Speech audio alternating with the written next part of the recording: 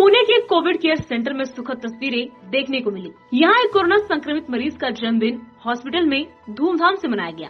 Ward को balloon से सजाया गया और केक मंगाया गया। डॉक्टर्स और नर्स भी इस जन्मदिन की पार्टी में शामिल हुए। पुणे शहर के पवना हॉस्पिटल में ऐसे ही एक कोरोना संक्रमित मरीज़ के हाउस और उम्मीद बढ़ाने के लिए अस्पताल के डॉक्टर्स और नर्स ने मरीज़ का अस्पताल में बड़ी धूमधाम से जन्मदिन मनाया। मौत के बीच जूझ रहे मरीज़ को हँसी के पल दे के मरीज़ के लिए नौ किरण साबित होते हैं। मावल परिसर के पवना अस्पताल में एम मरीज़ मौत से लड़ रहा था। कल गुरुवार को उस शख्स का जन्मदिन था। डॉक्टर्स और नर्स को पता चलने का बाद तुरंत मरीज़ के आसपास का परिसर को बलून से सजाया गया और मरीज़ का जन्मदिन मनाया गया। ये देखकर मरीज़ की आँखों से आँसू आ गए, लेकिन उसे जीने का हौसला बढ़ गया और ठीक होने की उम्मीद फिर से दिखी। अस्पताल के डॉक्टरों का कहना है कि मरीज़ को दवा के साथ साथ हँसी खुशी वाला माहौल मिले तो वो जल्द ठीक होता है। ऐसा ही एक छोटा सा प्रयास हमने भी किया। और उम्मीद है कि सारे मरीज़ जल्द से जल्द ठीक होकर अपने घर लौटेंगे।